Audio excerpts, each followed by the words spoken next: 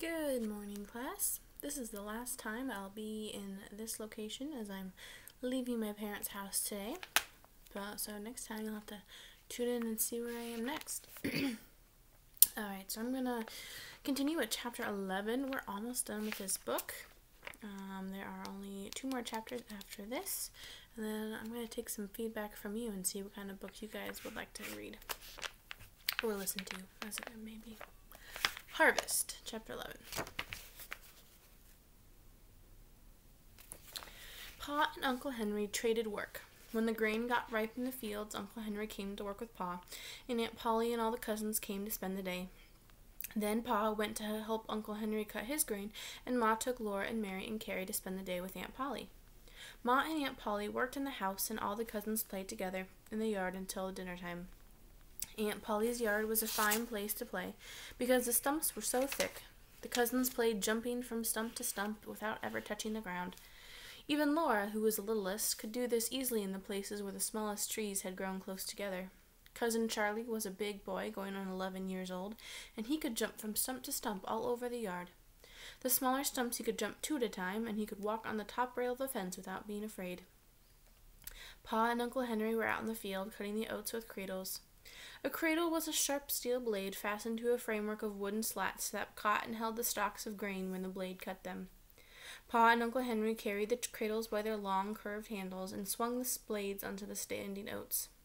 When they had cut enough to make a pile, they slid the cut stalks off the slats into neat heaps on the ground. It was hard work, walking around and around the field in the hot sun and with both hands swinging the heavy cradles into the grain and cutting it, then sliding it into the piles. After all the grain was cut, they must go over the field again. This time they would stoop over each pile, and taking up a handful of the stalks in each hand, they would knot them together to make a longer strand. Then, gathering up the pile of grain in their arms, they would bind it tightly around with the band they had made, and tie the band and tuck it into the ends. Here's what they're doing putting the wheat together. Even Laura, oops, sorry. After they made seven such bundles, then the bundles would could be must be shocked. To make a shock, they stood five bundles upright, snugly together with oat heads up. Then over these they put two more bundles, spreading out the stalks to make a little roof and shelter the five bundles from dew and rain. Every stalk of the cut grain must always be safely in the shock before dark, for lying on the dewy ground all night would spoil it. Pa and Uncle Henry were working very hard because the air was so heavy and hot and still that they expected rain. The oats were ripe, and if they were not cut in the shock before rain came, the crop would be lost. Then Uncle Henry's horses would be hungry all winter. At noon, Pa and Uncle Henry came to the house in a great hurry and swallowed their dinner as quickly as they could. Uncle Henry said that Charlie must help them that afternoon. Laura looked at Pa when Uncle Henry said that. At home, Pa had said to Ma that Uncle Henry and Aunt Polly spoiled Charlie. When Pa was eleven years old, he had done a good day's work every day in the fields, driving a team, but Charlie did hardly any work at all. Now Uncle Henry said that Charlie must come to the field. He could save them a great deal of time. He could go to the spring for the water, and he could fetch them the water jug when they needed a drink. He could fetch the whetstone when the blades needed sharpening. All the children looked at Charlie. Charlie did not want to go to the field. He wanted to stay in the yard and play. But, of course, he did not say so. Pa and Uncle Henry did not rest at all. They ate in a hurry and went right back to work, and Charlie went with them. Now Mary was the oldest, and she wanted to play a quiet, ladylike play. So in the afternoon the cousins made a playhouse in the yard. The stumps were chairs and tables and stoves, and leaves were dishes, and sticks were the children. On the way home that night, Laura and Mary heard Pa tell Ma what happened in the field. Instead of helping Pa and Uncle Henry, Charlie was making all the trouble he could. He got in their way so they couldn't swing the cradles. He hid the whetstone so they had to hunt for it when the blades needed sharpening. He didn't bring the water jug till Uncle Henry shouted at him three or four times, and then he was sullen. After that, he followed them around, talking and asking questions. They were working too hard to pay any attention to him, so they told him to go away and not bother them. But they dropped their cradles and ran to him across the field when they heard him scream. The woods were all around the field, and there were snakes in the oats. When they got to Charlie, there was nothing wrong, and he laughed at them. He said, I fooled you that time. Pa said if he had been Uncle Henry, he would have tanned that boy's hide, for him right then and there. But Uncle Henry did not do it. So they took a drink of water and went back to work. Three times Charlie screamed, and they ran to him as fast as they could, and he laughed at them. He thought it was a good joke. And still, Uncle Henry did not tan his hide. Then a fourth time he screamed, louder than ever. Pa and Uncle Henry looked at him, and he was jumping up and down screaming. They saw nothing wrong with him, and they had been fooled so many times they went on with their work. Charlie kept on screaming louder and shriller.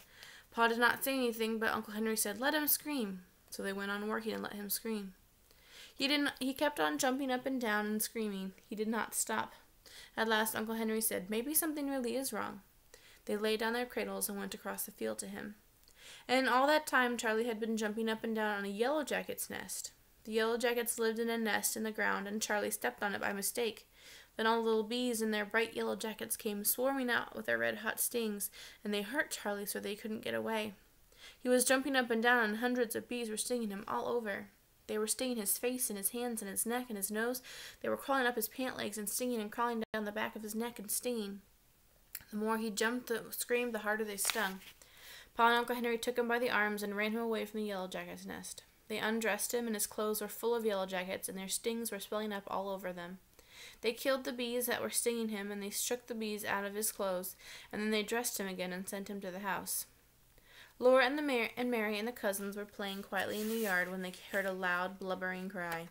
Charlie came bawling into the yard, and his face was so swollen that his tears, and the tears could hardly squeeze out of his eyes. His hands were puffed up, and his neck was puffed out, and his cheeks were big, hard puffs. His fingers stood stiff and swollen. There were little hard white dents all over his puffed out face and neck. Laura and Mary and the cousins stood and looked at him. Ma and Aunt Polly came running out of the house and asked him what was the matter. Charlie blubbered and bawled. Ma said it was Yellow Jackets. She ran to the garden and got a big pan of earth, while Aunt Polly took Charlie into the house and undressed him. They made a big pan full of mud and plastered him all over with it. They rolled him up in an old sheet and put him to bed. His eyes were swollen and shut, and his nose was a funny shape. Ma and Aunt Polly covered his whole face with mud and tied the mud on with cloths. Only the end of his nose and his mouth showed. Kind of looks like a mummy right here. Aunt Polly steeped some her- herbs to give him for his fever. Laura and Mary and the cousins stood around for some time looking at him. It was dark that night when Pa and Uncle Henry came from the field. All the oats were in the shock, and now the rain could come and it would do no harm. Pa could not stay to supper. He had to get home and do the milking. The cows were already waiting at home, and when cows are not milked on time, they do not give so much milk. He hitched up quickly, and they all got into the wagon. Pa was very tired, and his hands ached, so he could not drive very well, but the horses knew the way home. Ma sat beside him with baby Carrie, and Laura and Mary sat on the board beside, behind them. Then they heard Pa tell about what Charlie had done. Laura and Mary were horrified. They were often naughty themselves, but they had never imagined that anyone could be as naughty as Charlie had been. He hadn't worked to help save the oats. He hadn't minded his father quickly when his father spoke to him. He had bothered Pa and Uncle Henry when he was hard at work. Then Pa told about the Yellow Jacket's nest, and he said, It served the little liar right. After she was in the trundle bed that night, Laura lay and listened to the rain drumming on the roof and streaming from the eaves, and she thought about what Pa had said. She thought about that yellow jack about what the yellow jackets had done to Charlie. She thought it served Charlie right too. It served him right because he had been so monstrously naughty, and the bees had a right to sting him when he jumped on their home. But she didn't understand why Pa had called him a little liar. She didn't understand how Charlie could be a liar when he had not said a word. That's something to think about. Can someone be a liar if they aren't saying anything? Kind of reminds me of the story of the boy who cried wolf um, how he cried all those times and they came to him, and then when he really needed somebody, he they didn't go to him because he had tricked them. So, lesson to you: make sure you don't cry wolf.